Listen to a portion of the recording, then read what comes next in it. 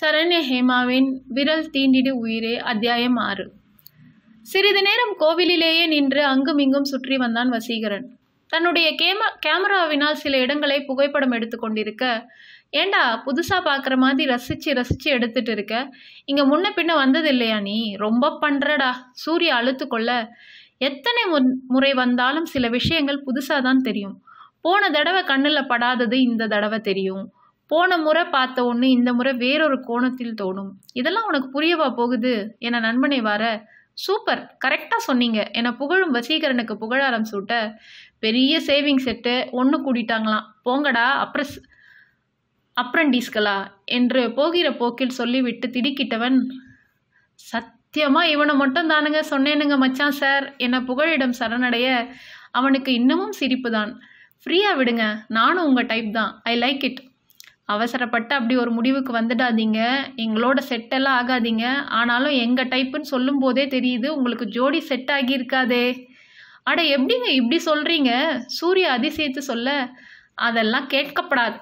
உங்களுக்கு கல்யாணம் ஆகிடுச்சோ? அதை தேடி போய் பண்ணின பர்ச்சேஸ் இல்லை. ஏற்கனவே ஆர்டர் பண்ணினது. வாட் அட என் மாமா பொண்ணுங்க என் பொண்டாட்டி. பிறந்ததுலேருந்து எனக்குன்னே பிறந்திருக்கா பிறந்திருக்கான்னு சொல்லி சொல்லி எனக்கு கட்டி வச்சாங்க. இதில் பொண்ணை தேடும் பாக்கியமோ பஜ்ஜி சொஜ்ஜி சாப்பிட்ற குடுப்பனையோ எனக்கு இல்லாமலே போச்சு. என சோகம் போல சொல்லி கொண்டிருக்க கேட்ட புகழ் அடக்கமட்டாமல் சிரித்தான். இப்படி தான் ஃப்ரெண்ட்ஸுக்குள்ளே என் பிழைப்பு சிரிப்பா சிரிக்கும் என்றவன் புகழிடம் கை நீட்டி ஃப்ரெண்ட்ஸ் என ஃப்ரெண்ட்ஸ் என்று புகழ் கையை பற்றி சூர்யாவை அணைத்து கொண்டான். அப்போதுதான் பேச்சு சுவாரஸ்யத்தில் இருவரும் வசீகரனை விட்டுவிட்டு தூரமாய் வந்துவிட்டது தெரிய இவனை எங்க காணோம்? என்று திரும்பி பார்த்தவன் ஐயோ சனி சி முனி என அலற சித்தப்பூ என புகழ் பார்க்க அட உங்க அப்புவையெல்லாம் தூக்கி ஓரமா வச்சுட்டு நில்லுங்க நான் போய் இவனை பார்க்கறேன் என்ற சூர்யா வேகமாய் வசீகரனை தேடி வர அதற்குள் முனீஸ்வரனும் வசீகரனை பார்த்து விட்டார். டேய் நீ எங்கடா இங்க?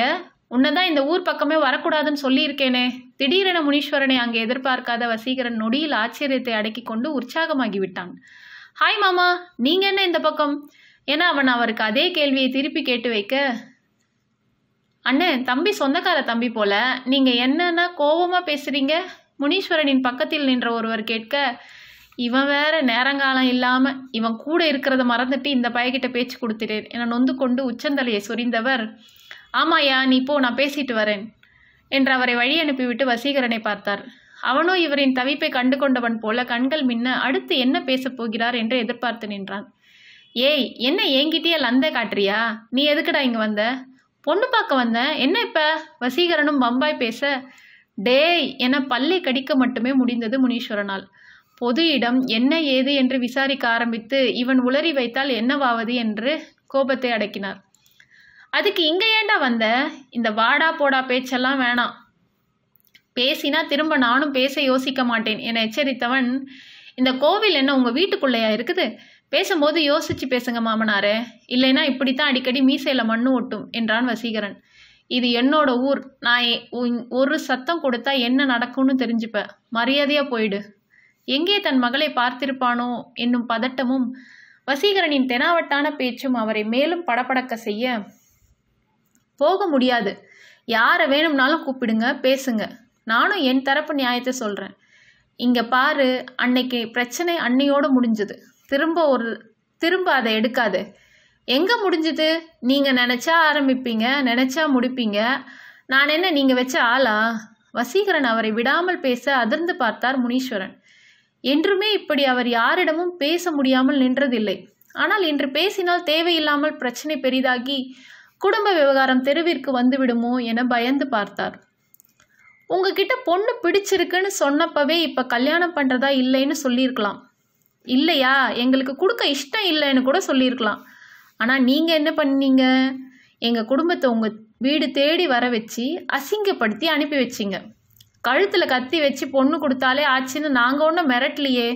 எங்க அப்பா அம்மாவை அசிங்கப்படுத்தினதும் இல்லாம என்கிட்ட என் பொண்ணு பின்னாடி அலைஞ்சன்னு பேசுறீங்க.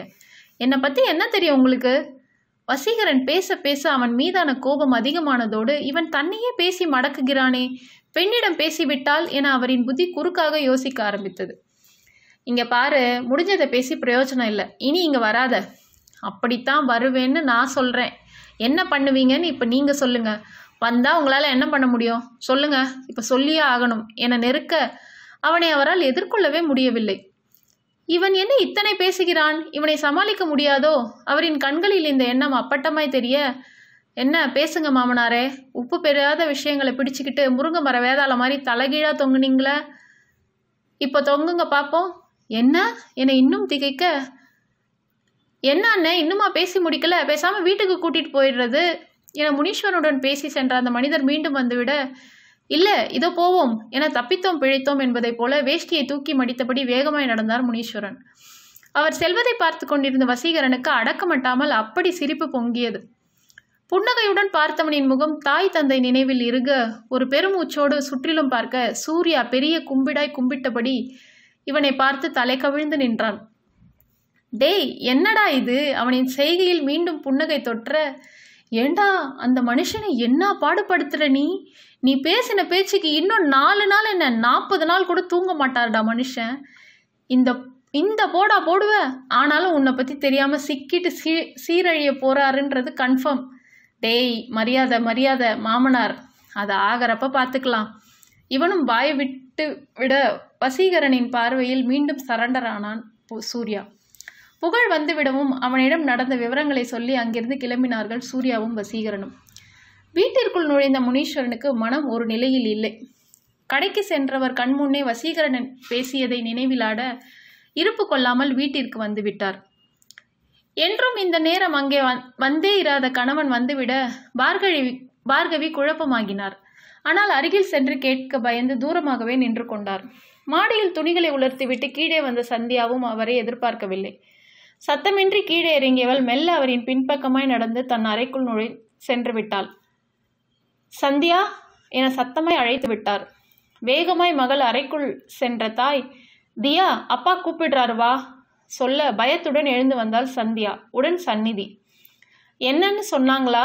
சந்நிதி கேட்க என்ன புதுசா கேட்க? என்னைக்கு அவர் விவரம் என்ன என்னதுன்னு நம்ம கிட்ட சொல்லிட்டு செஞ்சிருக்கார்? என்ற தாயை இயலாமையுடன் பார்த்தாள் சந்நிதி. படிப்பு முடியவும் ஒரு வேலையை தேடிட்டு உங்களை எங்கேயாச்சும் கடத்திட்டு போயிடுறேம்மா. சந்நிதி சொல்ல என்ன பேச்சு இது நிதி? அப்பா கண்டிப்பானவர் தான். அதுக்குன்னு அப்பா இல்லைன்னு ஆகிடுமா? இதுவும் நம்ம நல்லதுக்குன்னு நினச்சிக்கோ. இந்த சப்போர்ட் உன்னை எங்கே நிறுத்துமோ தியா? சந்நிதியும் விடாமல் சொல்ல கூப்பிட்டதோ கூப்பிட்ட உடனே வ வர தெரியாதா?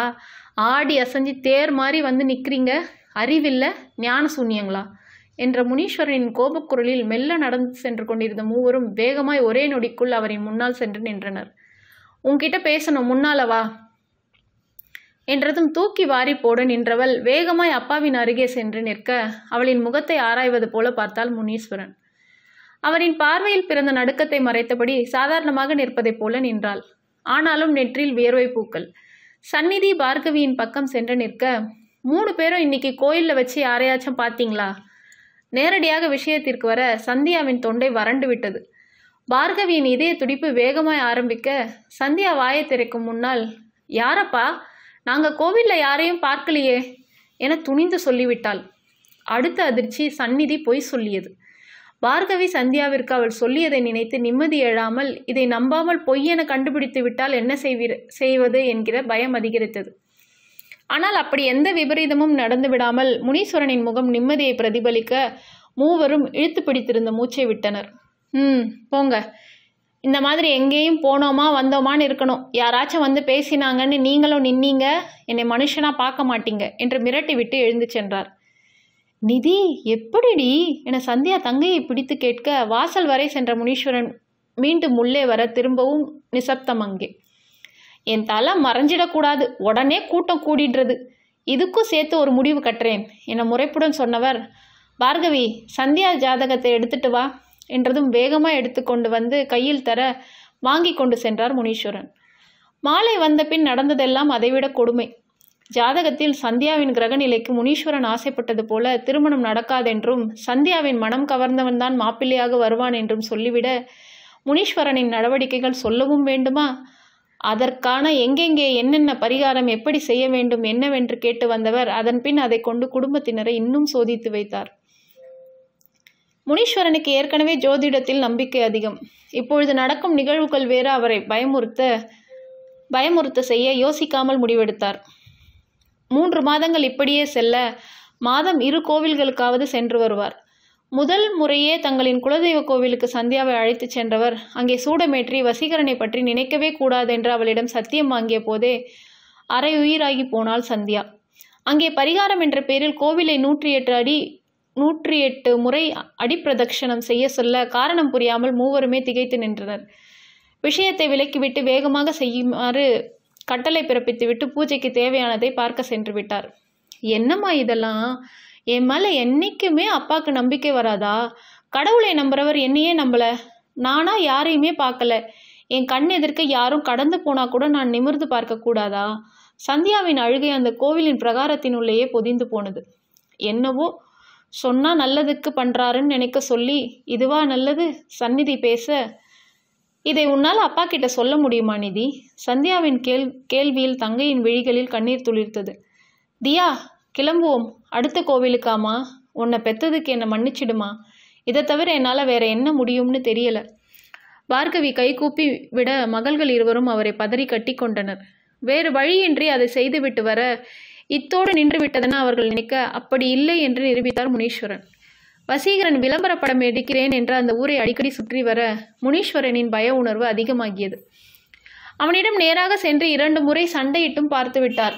ஆனால் அவனோ இவருக்கும் பல மடங்கு வீம்பு பிடித்தவனாக இருந்து இவரின் இரத்த அழுத்தத்தை கூட்டிவிட்டு தான் சென்றான். இதை யாரிடமும் சொல்லவும் முடியாமல் விழுங்கவும் முடியாமல் அவஸ்தைப்பட்டார். பெண் விஷயமாயிற்றே பட்டென்று அவனின் மேல் கை வைக்கவும் யோசித்தார். அதைவிட அவனும் சாதாரணப்பட்டவன் இல்லையே தனக்கு மேல் ஏறி நிற்கிறானே என அவனையும் லேசில் எடை போடாமல் கவனமாய் இருக்க முற்பட்டார். அதை கொண்டு தன் பெண்ணை பார்த்து கொண்டால் போதும். அவன் என்ன முயன்றாலும் நடக்காது என்ற எண்ணத்தில் சந்தியாவை பாடாய்படுத்தினார் அன்றும் பழனிக்கு பரிகார பரிகாரத்திற்கென்று வந்திருந்தனர். எடைக்கு எடை வாழைப்பழமும் வெல்லமும் வழங்கினால் மனக்கஷ்டங்கள் நிவர்த்தியாகும் என்று ஜோசியர் சொல்லியிருக்க சந்நிதியின் கல் கல்லூரி விடுமுறை அன்று கிளம்பி வந்துவிட்டனர். வந்ததிலிருந்தே எதையோ தொலைத்தது போன்ற அக்காவின் முகவாட்டத்தை பார்த்து நிதியே பொறுக்க மாட்டாமல் நான் சொல்றதை கேளுதியா பேசாமல் இப்படி கஷ்டப்படுறதுக்கு அவர் வந்தார்னா பேசி அவரையே மேரேஜ் பண்ணிக்கோ. துடுக்காய் பேசிவிட்டாள். தங்கையின் பேச்சில் அதிர்ந்து போன தியா விழி பேச்சிடாமல் அவளையே பார்க்க நிஜமாக தான் சொல்கிறேன் எங்கள் அப்பாவை மீறி சவாலில் அவர் ஜெயிச்சிடுவார்னு தானே உன்னை பரிகாரம்னு அலைக்கழிக்கிறாரு. நீயும் உண்மை இல்லை இல்லைன்னு சொல்லி பார்த்துட்ட. எனக்கே வெறுப்பாகிடுச்சு. அதுக்கு இப்படி பேசுவியா நிதி? வேற என்ன செய்ய சொல்கிற இன்னும் எத்தனை நாள் இப்படி பரிகாரம் பரிகாரம்னு சுற்றி வருவ? இதுக்கு உன்னை விரும்புகிறவரை மேரேஜ் பண்ணிக்கிட்டு சந்தோஷமாக இரு. இங்கே தான் நீ தப்பு பண்ணுற நிதி. அவர் என்னை விரும்பவே இல்லை. இதை நான் அடித்து சொல்வேன். சந்தியா குரலில் அத்தனை நிச்சயம். என்ன சொல்கிறதியா பிடித்தம் இல்லாமலா அவர் நாம் போகிற இடத்துக்கெல்லாம் சுற்றி சுற்றி வரார். வீட்டு பெரியவங்களை பேச அனுப்பி இருப்பார். பெ- வீட்டு பெரியவங்க வந்தாங்க சரி. ஆனால் அவர் தான் அனுப்பினாருன்னு நமக்கு தெரியாதே. அவங்க அம்மாவுக்கு பிடிச்ச பிடிச்சு கூட அவங்க பேச வந்திருக்கலாம். பெத்தவங்களை அசிங்கப்படுத்திட்டாங்கன்ற கோபத்தில் அவர் சவால் விட்டுருக்கலாம். இதுக்கெல்லாமா கல்யாணம் செய்வாங்க? அப்பா அவர் சொன்னது அப்பாவை கோவப்படுத்த கூட சொல்லியிருக்கலாம். பயம் காட்டக்கூட இப்போ அதுதான் வேலை செய்யுது. என்னை பாடா படுத்துறார் அவரோட பயத்துக்கு. என வேதனையாய் புன்னகைக்க சந்நிதி இன்னமும் யோசனையிலேயே இருக்க. நிதி இத்தனை நாளில் ஒரு பத்து பதினஞ்சு தடவையாச்சும் அவரை பார்த்துருப்போம். என்னை பார்க்கும்போது அவர் பார்வையில் அந்த உணர்வை நான் பார்த்ததே இல்லை. ஒரு ஆர்வமான பார்வை ரசனை விருப்பம் ஆசைன்னு எதுவுமே இல்லை. பின்ன எதுக்கா நம்ம ஊருக்கு அடிக்கடி வரார்? அவர் வேலைக்கு எதுக்காகவும் இருக்கலாம். நம்மை பார்க்கும்போது பேசும்போது எல்லாம் அப்பா மேலே உள்ள கோபம் தான் வெளிப்படுதே தவிர வேற எதுவும் இல்லை. இத்தனை நாளில் ஒரு தடவை கூட என்கிட்ட அந்த அர்த்தத்தில் அவர் பேசலை. முயற்சி கூட பண்ணலை. அப்போ உனக்கும் இஷ்டம் இல்லைன்னு சொல்றியா? அப்பா கிட்ட அவர் பார்த்ததா சொன்னியே. ம் அவர் நம்ம குடும்பத்தை பார்த்தார்.